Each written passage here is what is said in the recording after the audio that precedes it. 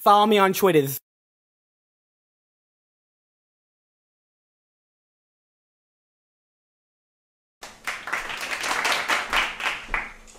Thank you, thank you, thanks a lot. I just flew in from Gotham. Boy, are my arms tired. So, uh, you guys look like a pretty nice audience, but I don't know if you recently heard this. Mickey and Minnie are getting a divorce. Yeah, it's pretty sad. But the judge tells Mickey, I can't grant you a divorce just because you say Minnie's crazy. And Mickey says, Your Honor, I never said she was crazy. I said she was fucking goofy.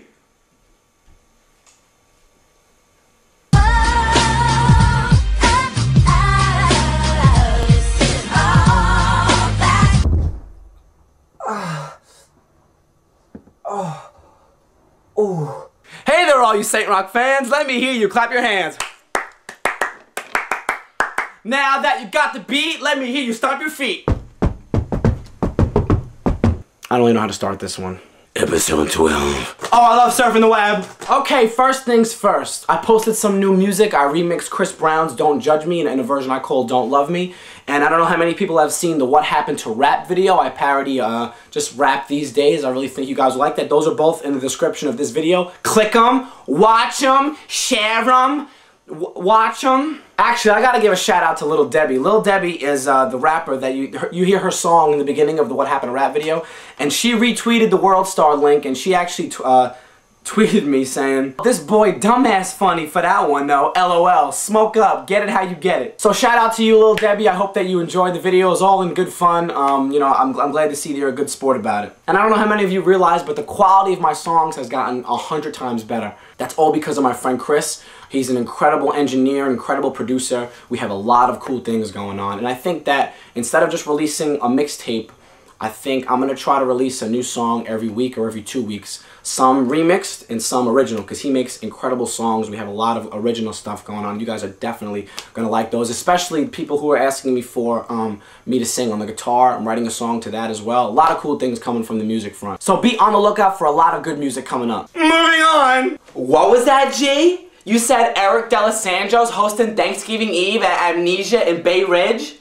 And you want to go? Oh my god, I'm so there. That's right, I'm hosting Thanksgiving Eve at Amnesia Bay Ridge. It's in Brooklyn. It's 18 and older to get in. I did an appearance one time at a 21 and older event and a lot of people complained about it. So I hope a lot more of you can come now, especially the ones who are always saying, do a meet and greet or something. Now's your chance. You can come hang out with me, take pictures, we'll dance, we'll do the Macarena, I'll pick you up, we'll do the dirty dancing dance, whatever you want to do. And I hope to see a lot of you guys there. That's that shit I don't like.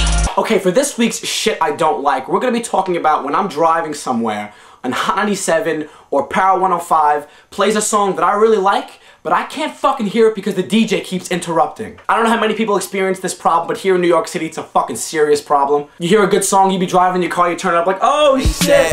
Get like me. Oh. Yeah, hit me up on that Twitter at DJ EJ. All these motherfuckers wanna 1-800-8223-9797. like me. Cause I'm the nigga. It's going down at Bay Street, ladies getting free tonight. and fucking bitches. Yeah, shout out to Nene Nene, happy birthday Nene. They getting bent up. Follow me on that Twitter. Licorice. I let her lick See all it. them girls in them Instagram pictures with their ass out. The rich. Yeah, red light, green light, one, two, three. Rich. I be fucking Pikachu would evolve to Raichu. boy. Turn it Follow like me on that Twitter. fucking bars. Beats. Follow me on that Twitter. That's that shit I don't like. Dear Eric, let's retweet. Okay, I want to start things off this week by apologizing to Mary. Mary sent me a tweet asking to wish her sister a happy birthday weeks ago, and I took a screenshot of it, but I never got around to it, and then Sandy happened, and it just fucked a lot of things up. So, Greta, thanks to your sister Mary, I'm sorry I'm late. I want to wish you a very, very, very happy birthday from all of us here at The Eric Show. I hope it was magical. I'm sorry I'm late. Megan wants to know what inspired you to do the Eric Show. Well, Megan, I noticed a lot of things that I was being creative with recently were just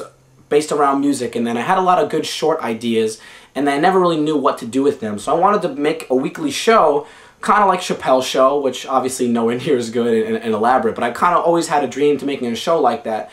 And then I also did these um, videos for Facebook when I would just talk about stuff. So that's kind of where the idea came from. And then I was like, I'll do that every week. Hopefully they'll like it. Nancy wants to know, did you cry more when Simba's dad died in The Lion King or when that bitch shot Selena in Selena. Let me tell you something, Nancy. I remember being like five or six whenever that movie came out, watching it thinking, well, his dad can't die. I mean, I'm a five-year-old. I'm not gonna watch, they don't make movies for me where the fucking dad dies in the first 10 minutes. And then he died. I wasn't even sad. I was just like, you're kidding me, right? This movie's been on for eight minutes and the dad's already dead. In The Lion King, I mean, the guy just stopped drawing. But in Selena, that actually happened. That, that was a real life situation, you know? The woman who killed her, was that the same woman from Romeo and Juliet when he was like, his name is Romeo, and he's a Montague? I don't know if that's the same woman, but they look alike. Oh, fuck. Uh, Paola. Paola? Is that how you say that? If you were a stripper, what would your stage name be? Well, I've always wanted to use huge erection for something, so maybe my stripper name. But if I had to be a stripper, I would just use another porn name like Ass Ventura, Wet Detective, Ocean's Eleven, Inches. Tanya wants to know, what are you most excited for this winter? I love you. Put me in your next episode. Well, Tanya, I'm really looking forward to Christmas, and I'm always cold, so I look forward to wearing lots of layers. And I finally get to wear my pea coat again.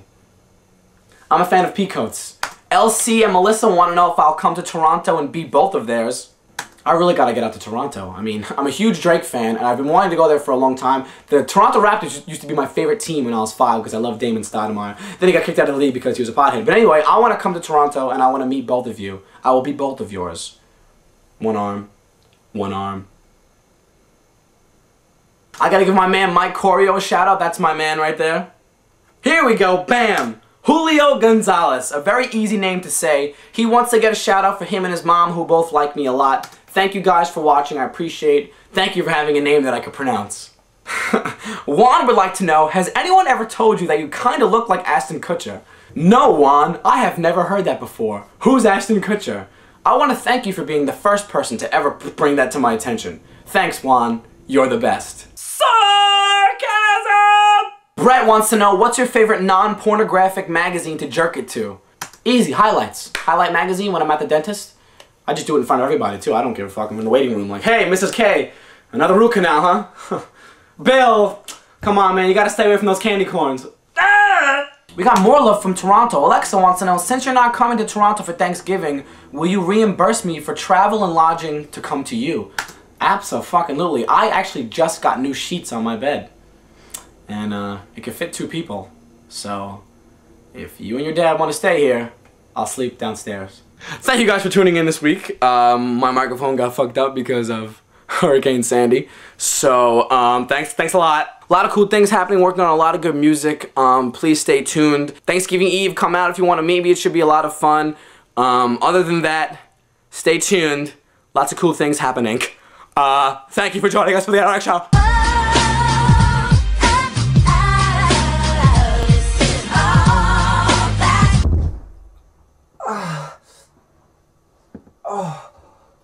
Oh.